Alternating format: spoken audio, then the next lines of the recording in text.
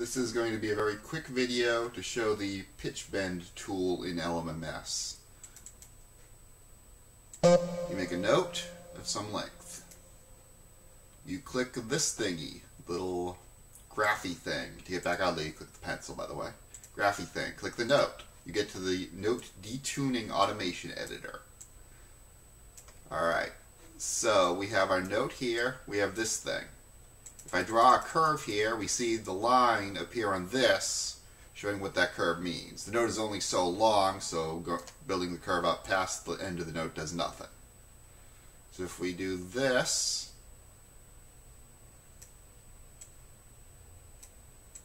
this note is going to wave up and down.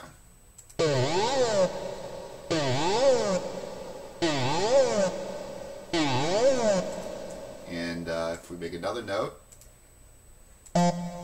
that note is going to start without any of that effect on it. But if we instead do a control click, drag, control C, put the play on paste, paste, we can get a copy of the note that does have the same effect.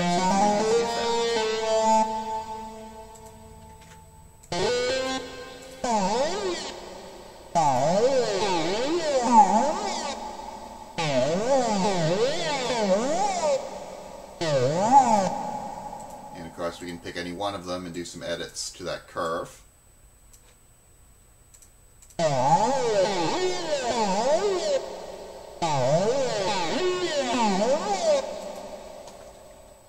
And if we want, we can also play with the type of curve.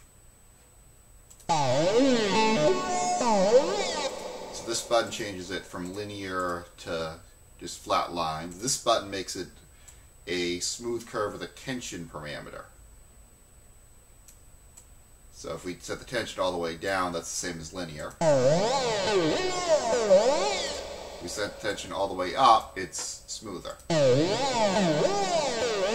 Not really very audible in this case. It's a thing you can do, but the main differences are whether it's smooth at all or not. And normally you're probably going to want linear because that's more or less what your actual guitar or whatever, or slide whistle, what have you, is most likely going to sound like.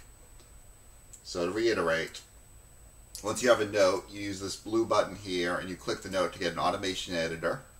You set waypoints and drag them around. You can right click a waypoint to get rid of it. And uh, you can um, change the type of curve in this tension thing.